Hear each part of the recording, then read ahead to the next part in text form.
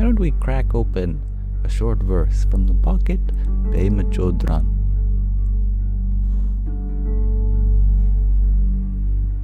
She is a Buddhist nun, and many of her sayings and teachings have been encapsulated here in this little book.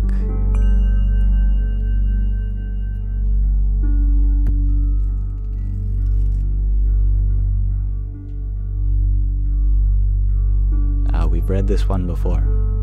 I'll crack open to a new one. Here we open to 25. Recognizing our kinship with others. I'm glad that you loved her, Chloe.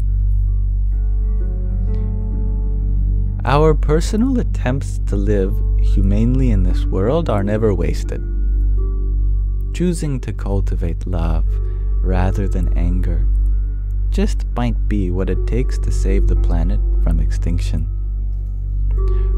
What is it that allows our goodwill to expand and our prejudice and anger to decrease? This is a significant question. Traditionally, it is said that the root of aggression and suffering is ignorance. But what is it that we are ignoring? The word ignorant. Entrenched in the tunnel vision of our personal concerns, what we ignore is our kinship with others. One reason we train as warrior bodhisattvas is to recognize our interconnectedness, to grow in understanding that when we harm another, we are harming ourselves. So, we train in recognizing our uptightness. We train in seeing that others are not so different from ourselves. We train in opening our hearts and minds in increasingly difficult situations.